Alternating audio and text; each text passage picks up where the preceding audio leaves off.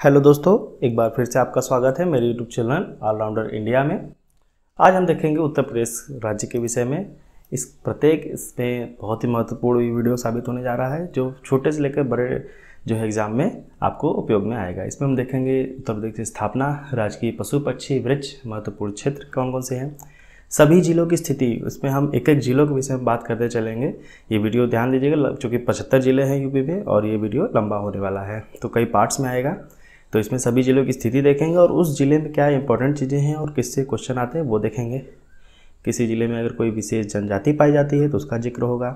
किस क्षेत्र में कौन सा, ये जान रहे हैं कि उत्तर प्रदेश की योजना है O D O P one district one product जो है एक स्कीम चल रही है।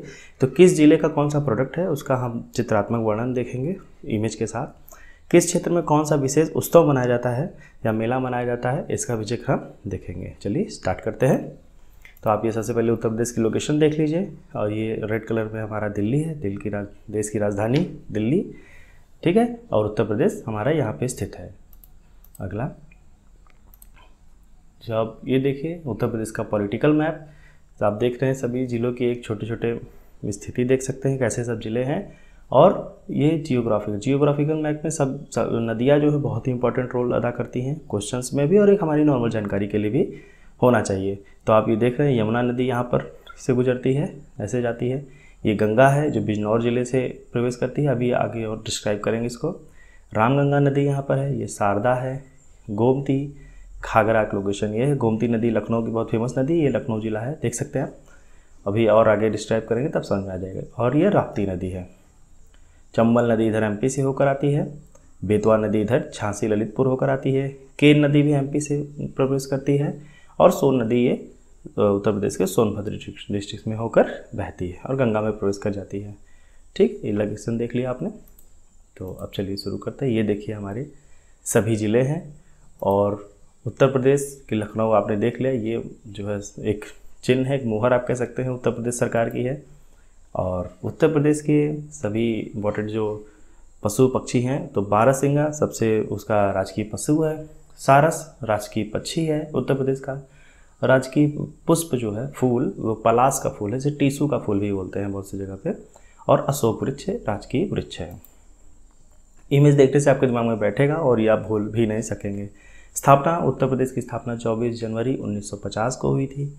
राजधानी इसकी लखनऊ है 1935 से 1935 से लखनऊ बनी और आज तक परमानेंट चली आ रही है राजधानी।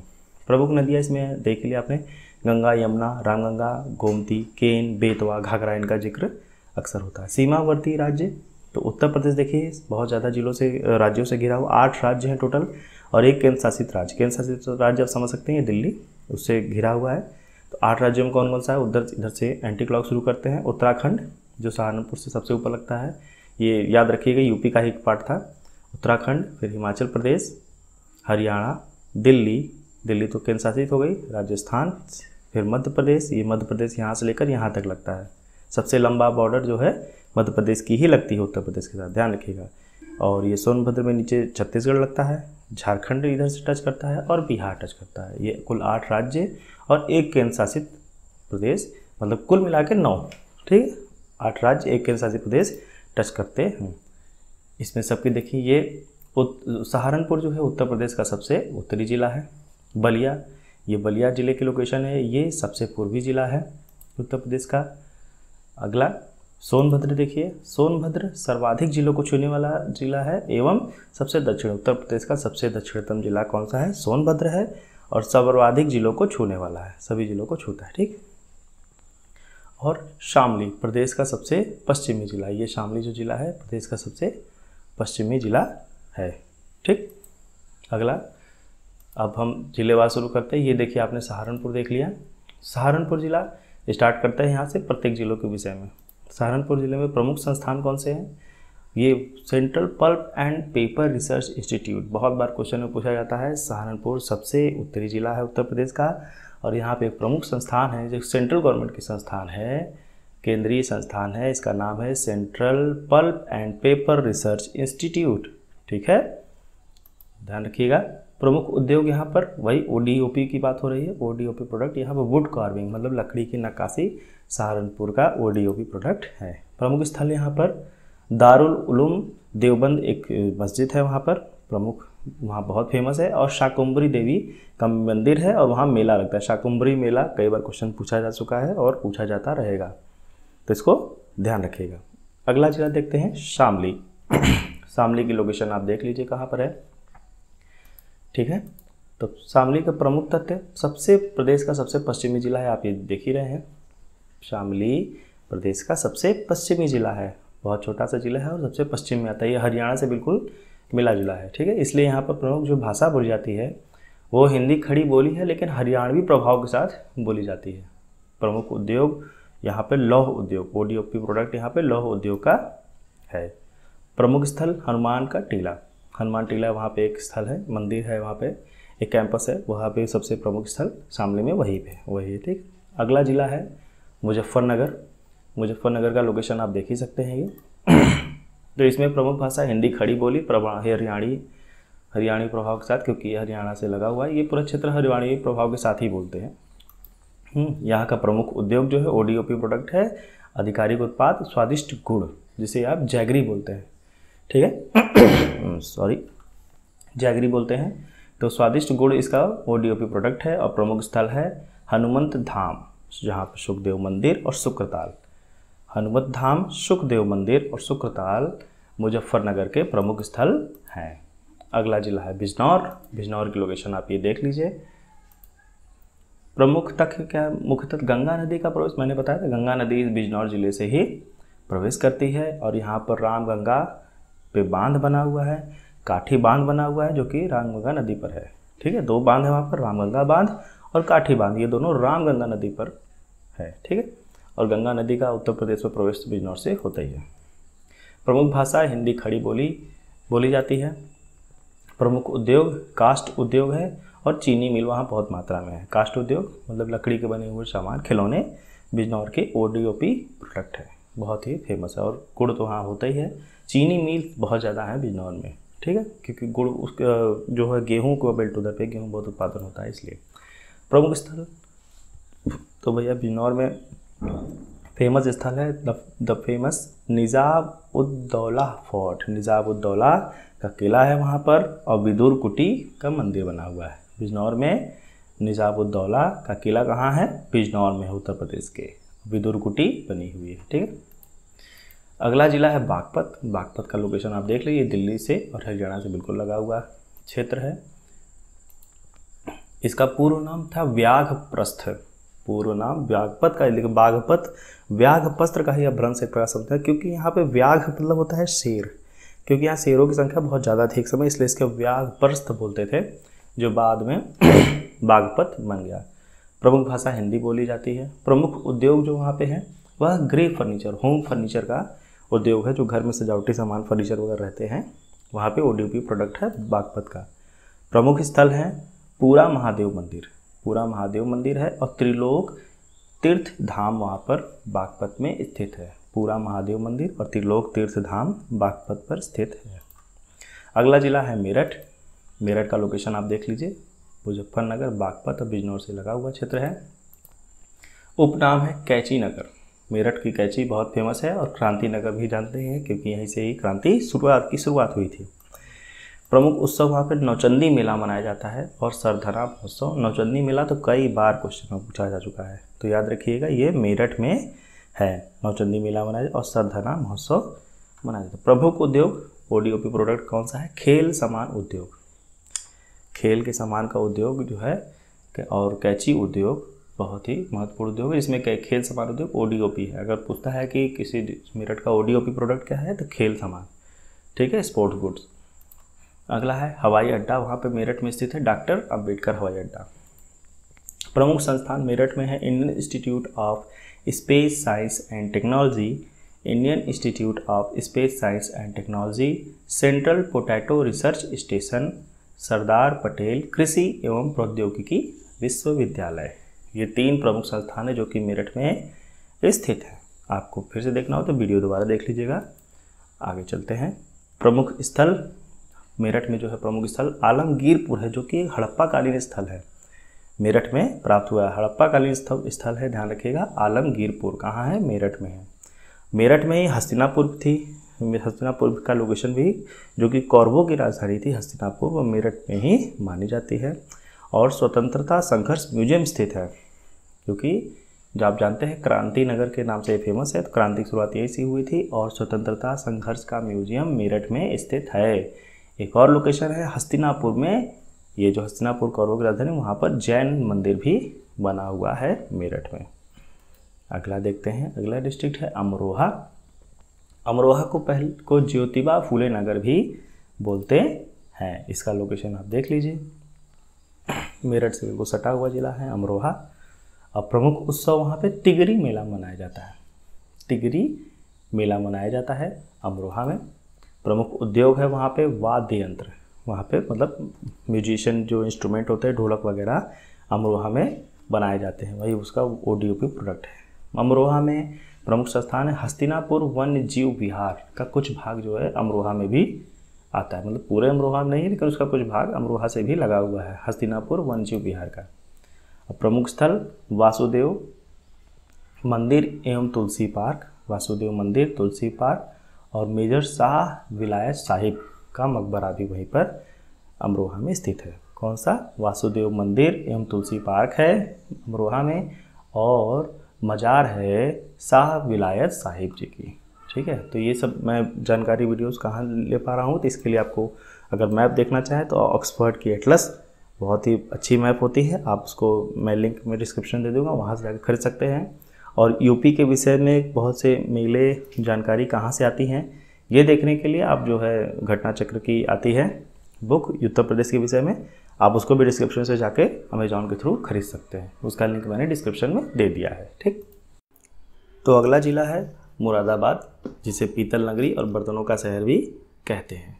तो इसकी लोकेशन आप देख लीजिए, ये यहाँ पर है, बिल्कुल नेपाल से और उत्तर प्रदेश नेपाल से सटा हुआ है। ये जो है, इसका प्रमुख उद्योग आप बर्तन पीतल नगरी और बर्तनों के शहर के उपनाम से समझ सकते हैं कि यहाँ पर जो है बर्तन उद्योग प्रमुख ओडीओपी प्रोडक्ट है यहाँ के प्रमुख स्थल है गौतम बुद्ध पार्क, मुरादाबाद में स्थित है। और दोस्तों, ये बहुत मेहनत लगती है वीडियो बनाने में तो प्लीज़ सपोर्ट ज़रूर कीजिएगा लाइक कीजिएगा अगर अच्छा लगे तो। कोई कमी रह गई, कोई गलती हो गई तो उसको कमेंट में ज़रूर मुझे बताएँ। और अगर ना किया हो तो सब्सक्राइब ज़रूर कर दें। अगला ज़िला है रामपुर। रामपुर ज़िले की लोकेशन देख लीजिए। और रामपुर जो है, बहुत प्रसिद्ध है रामपुरी चाकू के लिए, उर्दू शायरी के लिए, एवं रामपुर संगीत घराना भी स्थित है रामपुर में। चाकू, उर्दू शायरी और रामपुर, रामपुरी संगीत घराना ठीक?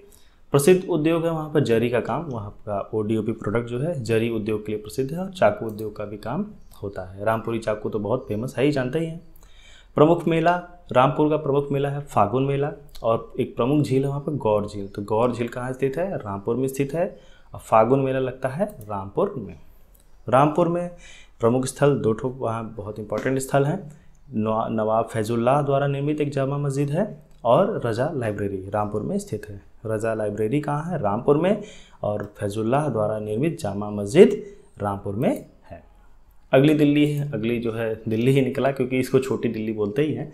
अगला ज़िला है गाज़ियाबाद, उत्तर प्रदेश का। बहुत ही फ़ेमस ज़िला है, बहुत ही डेवलप ज़िला है। इसे छोटी दिल्ली और या उद्योग नगरी के नाम से चलते इसका एक और उपनाम है gateway of UP gateway of UP जो है बोलते हैं। ठीक?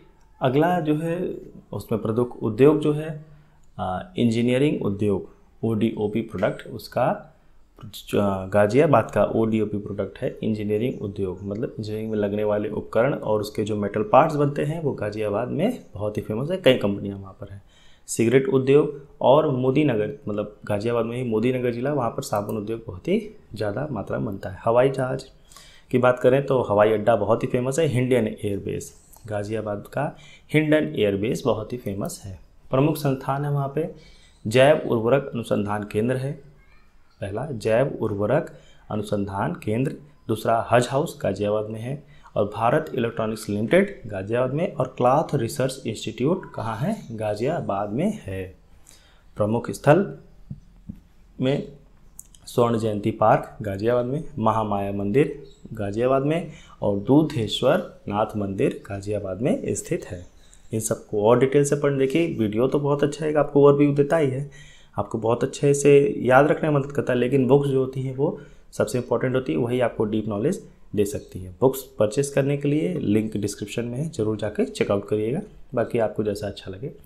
अब अगले ज़िले की तरफ़ चलते हैं। ये हापुड़ हापुड़ छोटा सा ज़िला है। बहुत अच्छा ज़िला है। इसका पूर्व नाम हरिपुर था। हरिपुर के नाम को ही अपभ्रंश करके हापुड़ बना है। इसका लोकेशन आप देख लीजिए, ये चमकता हुआ ज़िला। उद्योग वहाँ पर जो है, सज, घरेलू सजावटी सामान। हापुड़ का प्रमुख उद्योग, घरेलू सजावटी सामान वहाँ का प्रमुख उद्योग है। प्रमुख संस्थान Indian Grain Storage Management and Research Institute वहाँ के प्रमुख संस्थान है। Indian Grain Storage Management and Research Institute प्रमुख मेले वहाँ पर गढ़ मुक्तेश्वर मेला लगता है हापुड़ में। गढ़ मुक्तेश्वर मेला का ये आप लोकेशन भी देख सकते हैं और वहाँ पे एक ब्रिज घाट भी है। ब्रिज घाट और गढ़ मुक्तेश्वर मेला आसपास ही है दोनों में मेला लगता है। गढ़ मुक्तेश्वर मेला बहुत ही फ़ेमस है, हापुड़ का कई बार आ चुका है। और Indian Grain Storage Management and Research Institute ज़रूर याद रखिएगा।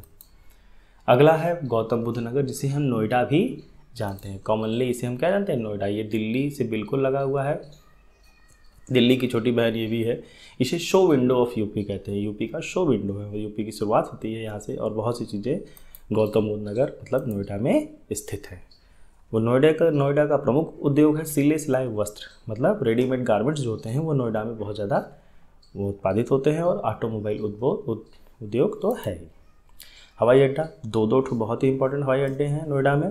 Noida international Greenfield Airport, जिसे जेवर एयरपोर्ट के नाम से भी जानते हैं। जेवर एयरपोर्ट तो बहुत ही ज़्यादा फ़ेमस है। ये अभी तो अंडर कंस्ट्रक्शन में ही है। और ताज इंटरनेशनल हवाई अड्डा भी नोएडा में स्थित है। नोएडा इंटरनेशनल ग्रीनफील्ड एयरपोर्ट जिसे जेवर एयरपोर्ट बोलते हैं, और ताज अंतर्राष्ट्रीय हवाई अड्डा। प्रमुख संस्थान ढेर सारे हैं, देख लीजिए। National Academy of Statical Administration National Academy of Statical Administration Noida में है। गौतम बुद्ध विश्वविद्यालय नोएडा में है सनातन धर्म मंदिर नोएडा में है पटेल चौक सॉरी पटेल लोक सांस्कृतिक संस्थान कहाँ? नोएडा में ही है। V V Green National Labour Institute Noida में स्थित है। छठवा है बुद्ध इंटरनेशनल सर्किट। क्या है बुद्धा इंटरनेशनल सर्किट में? एफ़ वन रेस होती है। इंडिया का इकलौता सर्किट है जहाँ पर एफ़ वन रेस हो, हो सकती है। तो ये कहाँ पर? नोएडा में स्थित है। नाम है बुद्धा इंटरनेशनल सर्किट। सातवां है, राष्ट्रीय आपदा मोचन बल का मुख्यालय है एन जिसे बोलते हैं। उसका मुख्यालय कहाँ पर है? नोएडा में स्थित है। नॉलेज पार्क है। नोएडा में वेब सिटी है। टॉय सिटी है और भारत का प्रथम नाइट सफारी भी नोएडा में शुरू हुआ था। ठीक है? तो इस प्रकार देखिए, ग्यारह संस्थान है। नोएडा बहुत ही इंपॉर्टेंट सिटी है। प्रमुख स्थल में नोएडा में है। सूरजपुर वेटलैंड वहाँ पर स्थित है। नोएडा में। सूरजपुर वेटलैंड मतलब प्राकृतिक वातावरण वहाँ स्थित है। ये कहाँ है? नोएडा में है। ओखला बर्ड सेंचुरी है नोएडा में। न्यू ओखला से समझ में आ रहा है। ओखला नोएडा को ही अगर पूरा खोलेंगे तो ओखला उसमें वर्ड आता है। तो ओखला बर्ड सेंचुरी कहाँ है? नोएडा में है और बोटैनिकल गार्डन नोएडा में है। सूरजपुर वेटलैंड नोएडा में है। चलिए, अगला शहर है बुलंदशहर। बुलंदशहर का लोकेशन आप देख लीजिए यह यहाँ पर है। इसमें प्रमुख उद्योग है चीनी मिट्टी उद्योग। O D O P product इसका कौन सा है? सिरेमिक प्रोडक्ट चीनी मिट्टी के प्रोडक्ट और पाटरी उद्योग। पॉटरी उद्योग ही मतलब पॉटरी मतलब बर्तन जहाँ बनते हैं, चीनी मिट्टी के, उसे पॉटरी उद्योग बोलते हैं। ये बुलंदशहर के खुर्जा में बहुत ही ज़्यादा मात्रा में बनते हैं। प्रसिद्ध व्यक्तित्व तो एक रहे हैं जिया उद्दीन बर्नी। आप जानते हैं, इतिहास अगर पढ़ते होंगे तो जिया उद्दीन बर्नी का नाम सुना होगा। वो बुलंदशहर से ही बिलोंग करते हैं। प्रसिद्ध मेला वहाँ पर है बल सुंदरी देवी का मेला। बुलंदशहर के अनूप शहर में बल सुंदरी देवी का मेला लगता है बुलंदशहर में। प्रमुख संस्थान वहाँ पर केंद्रीय कांच एवं सिरामिक अनुसंधान व प्रसारण केंद्र और सबसे ज़्यादा famous Narora atomic power plant. Uttar Pradesh का इकलौता एटॉमिक पावर प्लांट कहाँ पर है? नरौरा में है। नरौरा कहाँ? बुलंदशहर में। ठीक है, आप समझ गए? तो वहाँ पर Narora atomic power plant Bulandshahr में है और केंद्रीय कांच एवं सिरामिक अनुसंधान व प्रसारण केंद्र बुलंदशहर में स्थित है। प्रमुख स्थल कचेसर दुर्ग है जिसे मड फोर्ट भी कहते हैं। इसे मड फोर्ट भी कहा जाता है इसका नाम है कचेसर दुर्ग। और बुलंदशहर में एक चौराहा है नाम है काला आम। काला आम चौराहे में अंग्रेज़ जो है अपने जो मुजरिम थे उस टाइम के जिनको वो मुजरिम बताते थे उनको यहाँ पर सज़ा देने का या मुख्यतः फांसी पे लटकाने का काम इस काला आम चौराहे पे किया करते थे। अगला जिला है संभल। संभल का लोकेशन आप देख लीजिए, ये बिल्कुल यहाँ पर है। प्रमुख उद्योग संभल में है सींग एवं अस्थि उद्योग। वहाँ का ओडीपी प्रोडक्ट है सींग एवं अस्थि उद्योग। प्रसिद्ध मेले हैं कलकी महोत्सव, संभल में चलता है। और कलकी महोत्सव बहुत इंपॉर्टेंट है, कई बार आ चुका है तो संभल में याद रखिएगा, ठीक? प्रमुख स्थल बाबर द्वारा बनाया गया जामा मस्जिद। कहाँ पर है? संभल में ही स्थित है, ये देख लीजिए। ये जामा मस्जिद कैसे बना था? बाबर ने बनवाया था, याद रखिएगा। बाबर द्वारा बनाया गया जामा मस्जिद संभल में है। अगला जिला है बदायूं। बदायूं का लोकेशन आप देख लीजिए। कहाँ पर है? अगला। सबसे ज़्यादा जिलों के साथ जिला बनाने वाला राज्य सॉरी यहाँ पर जिला हो गया। सबसे ज़्यादा जिलों के साथ सीमा लगने वाला जिला, ये कौन सा है? बदायूं। ठीक है? सबसे ज़्यादा जिलों के साथ इसके सीमा लगती है बदायूं की। प्रमुख उद्योग है जरी जरदोजी उद्योग। वहाँ पे जरी का काम बहुत ज़्यादा होता है। प्रसिद्ध ऐतिहासिक स्थल वहाँ पर अब्दुल कादिर बदायूनी का जन्मस्थली है। बदायूं में अब्दुल कादिर बदायूनी का जन्म हुआ था। बदायूनी यहाँ पर है, कॉमन मिल रहा है बदायूनी बदायूं, ठीक? और शेख निज़ामुद्दीन औलिया की भी जन्मस्थली बदायूं में ही हुई थी। तो प्रमुख स्थल है वहाँ पे एक रोजा करके जगह है और मोसेलम, रोजा और मुसेलम कर का स्थल बदायूं में प्रसिद्ध अगला ज़िला है बरेली। बरेली बहुत ही फ़ेमस ज़िला है भाई। बरेली का लोकेशन आप देख लीजिए। इसकी प्रमुख उद्योग है जरी जरदोजी का उद्योग। मतलब कपड़े जो होते हैं, जरी का जो कपड़ा होता है, वहाँ का ओडीओपी प्रमुख उद्योग है। बाँस उद्योग भी वहाँ होता है और लकड़ी का फर्नीचर बनता है और बेंत की छड़ियाँ बनाई जाती हैं बरेली में। ठीक है? बरेली का बाज़ार तो आप जानते ही हैं। जहाँ पे किसी गाने में बोला जाता है झुमका भी गिर गया था शायद। तो जरी जरदोजी उद्योग महत्वपूर्ण है, उसको याद रखिएगा। बाँस उद्योग, लकड़ी का फर्नीचर और बेत की छड़ियाँ भी बनती हैं। प्रमुख संस्थान है, भारतीय पशु चिकित्सा अनुसंधान संस्थान इज़्ज़त नगर बरेली के इज़्ज़त नगर जगह पे भारतीय पशु चिकित्सा अनुसंधान संस्थान स्थित है। इज़्ज़त नगर में ही केंद्रीय पक्षी अनुसंधान संस्थान, ये सब बहुत ही महत्वपूर्ण है, ये सब आते हैं क्वेश्चन में। केंद्रीय पक्षी अनुसंधान संस्थान इज़्ज़त नगर बरेली में है। महात्मा ज्योतिबा फुले रूहेलखंड विश्वविद्यालय कहाँ स्थित है? बरेली में। और बरेली के आंवला में यूरिया उर्वरक कारखाना भी स्थित है। यूरिया उर्वरक कारखाना कहाँ है? बरेली के आंवला में। और बरेली के ही मोदी नगर जगह पे कृत्रिम रबर कारखाना स्थित है। बहुत ही इम्पोर्टेंट संस्थान है बरेली। तो दोस्तों समझ रहे बहुत मेहनत लगती है बनाने में। प्लीज़ अगर अभी तक आप वीडियो देख रहे हैं तो बहुत प्रशंसा के पात्र हैं आप। इस तरीके से और आगे मैं वीडियो बनाऊँगा। और सभी ज़िले आप देख रहे हैं कि हर चीज़ ज़िले मानचित्र में बैठ रहे हैं आपके तो प्लीज़ आप सपोर्ट ज़रूर करिएगा मेरे वीडियोज़ को। आगे बढ़ते हैं। हवाई अड्डा तो बरेली का प्रमुख हवाई अड्डा है बरेली हवाई अड्डा। बहुत इंपॉर्टेंट बहुत ही सरल है याद करने में, बरेली हवाई अड्डा। प्रसिद्ध ऐतिहासिक स्थल है दिगंबर जैन मंदिर है श्वेतांबर जैन मंदिर दोनों कहाँ स्थित है? ये अही अहिछत्र में ही स्थित है। ध्यान रखिएगा, उत्तरी पांचाल, जो सोलह महाजनपद थे, उसमें से उत्तरी पांचाल एक जन, महाजनपद था। उसकी राजधानी अहिछत्र जो है, इसी बरेली में ही स्थित थी। तो बरेली अहिछत्र इस बरेली में स्थित है और वहाँ एक और स्थान है, अल्लाह हज़रत दरगाह, बरेली में ही स्थित है। और इसी उत्तरी पांचाल की अहिछत्र में दिगंबर जैन मंदिर है और श्वेतांबर जैन मंदिर स्थित है। अगला ज़िला है अलीगढ़। अलीगढ़ का लोकेशन आप देख लीजिए। यहाँ पे चमक रहा है और उद्योग नगरी के नाम से भाई सॉरी तो प्रमुख उद्योग जो है, ताला एवं हार्डवेयर उद्योग, यहाँ पर अलीगढ़ का ताला तो भाई वर्ल्ड फ़ेमस है तो उस वही ताले को ही ओडीओपी प्रोडक्ट वहाँ पर है ताले बहुत बड़ी संख्या में बनते हैं। प्रमुख संस्थान तो अलीगढ़ मुस्लिम विश्वविद्यालय, किसको नहीं पता होगा तो वो अलीगढ़ में ही स्थित है, और वहाँ पर एक ताप विद्युत गृह भी है थर्मल पावर स्टेशन भी है, जहाँ, कहाँ पर? अलीगढ़ के हरदुआगंज में। अलीगढ़ के हरदुआगंज में ताप, हरदुआगंज ताप विद्युत गृह स्थित है। प्रसिद्ध ऐतिहासिक तथ्य उसका क्या है कि सर सैयद अहमद खां की कर्मस्थली, सर सैयद अहमद खां जो थे, जिन्होंने अलीगढ़ मुस्लिम विश्वविद्यालय बनाया, उनकी कर्मस्थली अलीगढ़ ही रही, उन्होंने ज़्यादातर काम अलीगढ़ में ही किए।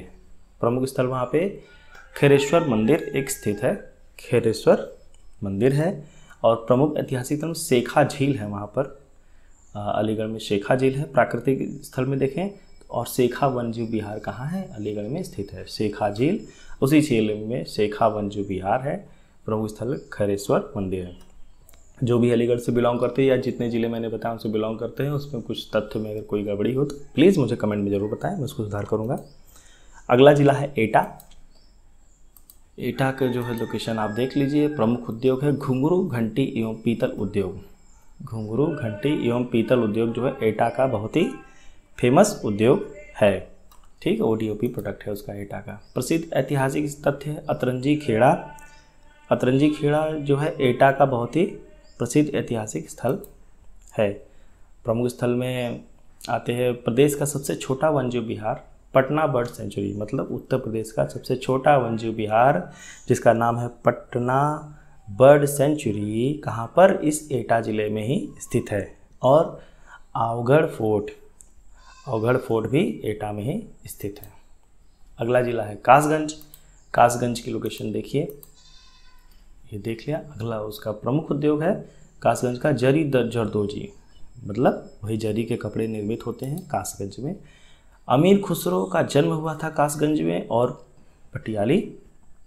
अमीर खुसरो का जन्म कासगंज के पटियाली जगह पे अमीर खुसरो का जन्म हुआ था। प्रसिद्ध मेला, सोरो मेला जो है कासगंज में होता है, जो बहुत ही प्रसिद्ध है और हर की पौड़ी में ही होता है। हर की पौड़ी जगह वहाँ पर वहीं पर सोरो मेला लगता है। ठीक? हरी की हरी की पौड़ी हर की पौड़ी वहाँ पे भी है ध्यान रखिएगा। उत्तराखंड में आ, क्या नाम है ऋषिकेश के बाद हरिद्वार। हरिद्वार में भी है हर की पौड़ी और एक हर की पौड़ी सोरो मेला जहाँ लगता है। कहाँ? कासगंज में वहाँ पे भी है। कासगंज में एक झाल ब्रिज है जो कि नदरई ब्रिज के नाम से भी जाना जाता है बहुत ही फ़ेमस है और लक्ष्मी गेट कासगंज में स्थित है। तो भाई, यहाँ पे थैंक्स फॉर वॉचिंग आ गया बहुत लंबा वीडियो हो गया और यहाँ तक देखने के लिए धन्यवाद। ऑलराउंडर इंडिया को चैनल को ज़रूर सपोर्ट करिए। इस केस को करने के लिए लाइक कीजिए शेयर कीजिए सब्सक्राइब कीजिए। और यहाँ से सब्सक्राइब करने के लिए यहाँ पर जो बटन बना हुआ है, इस पर क्लिक करेंगे। आप चैनल सब्सक्राइब करेंगे। नेक्स्ट वीडियो देखने के लिए आप यहाँ पर क्लिक कर सकते हैं। और अगर इनसे संबंधित बुक्स लेनी है तो आप डिस्क्रिप्शन में भी जा सकते हैं। Thanks for watching Krishna Soni signing off thank you